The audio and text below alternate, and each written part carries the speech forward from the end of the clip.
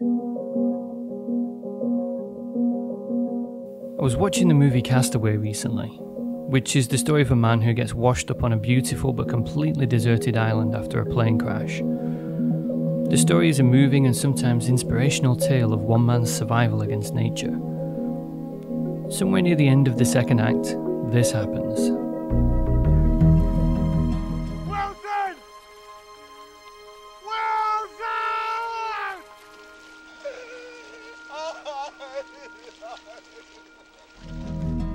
And just like anyone who watches this movie, I felt genuine sadness for Chuck as the music score swelled and his volleyball bobbed and floated away from his desperate hands.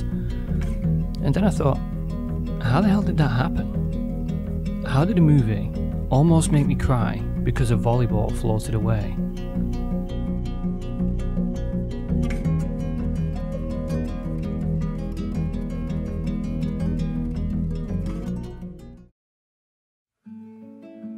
To understand why we care about Wilson, we have to understand how he became a character.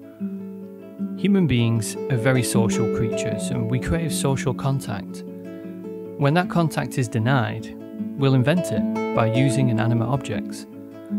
This is called anthropomorphosis. We give these items names and characteristics, just like a real person, and we'll even attribute emotions to them, and in extreme cases, we'll imagine how they'll respond.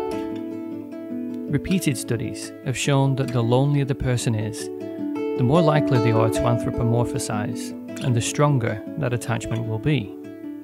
This explains why Chuck creates Wilson, and partially explains why he's so attached to him. It takes a while for Chuck to become lonely enough to need Wilson, but after a few days alone on the island, he gets pretty mad, injures his hand, and throws the volleyball in frustration, giving birth to Wilson.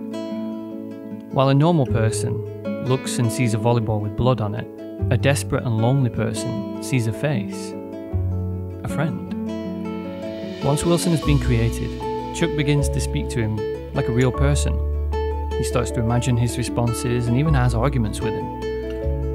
But even though Chuck speaks to Wilson as though he's another character, he's actually an extension of himself.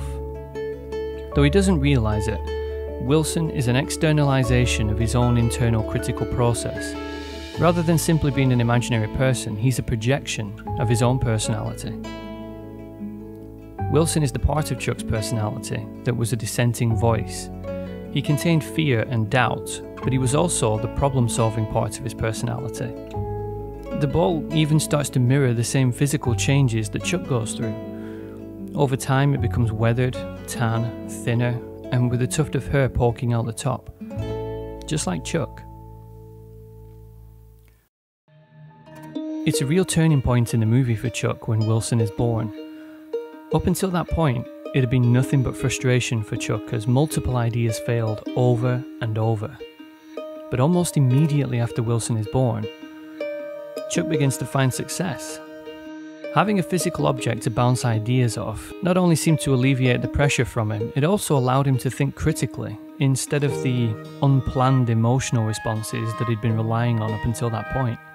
In short, Wilson is the reason that Chuck is alive. By the time Chuck decides to leave the island, he's aware on some level that he needs Wilson to be able to think critically and challenge his own ideas. Chuck also recognises the stabilising effect that Wilson has on his emotional well-being. We learned that after three years on the island, Chuck had tried to end his own life by hanging himself from a tree high on a cliff, but had been talked out of it by Wilson. Although Wilson is the voice of dissent to Chuck, he also represents hope. Each time Chuck felt like giving up, he was encouraged to carry on by Wilson, first with the fire, then with the suicide attempt, and again later when he doesn't have enough rope to complete his raft. Wilson tells him he can use the rope from the failed suicide, an idea that Chuck is resistant to, but Wilson pushes him to collect it anyway, and ultimately, without that rope, Chuck would never have escaped. In the same kind of way that Chuck anthropomorphizes a volleyball into Wilson because he's completely alone, we do something similar. We have no characters besides Chuck to connect to. So, like him, we spend almost an entire movie in isolation, with no dialogue for small chunks of it. The creation of Wilson reduces that isolation, and unconsciously, we begin to think of Wilson as part of Chuck. We spend the largest portion of the movie connecting with Chuck, feeling all of his failures and celebrating his successes. I'm not ashamed to say that I felt connected to both Chuck and Wilson, and one without the other felt like an incomplete character. When Chuck wakes up, after being battered by the storm, with no food, and a raft which is now just a couple of pieces of broken wood, and sees that Wilson is missing, he panics. He dives into the water and swims after him, and the moment when he realizes that he has to let Wilson go is a sad and difficult moment because we're not just watching a volleyball a friend floating away. What we're watching float away is hope.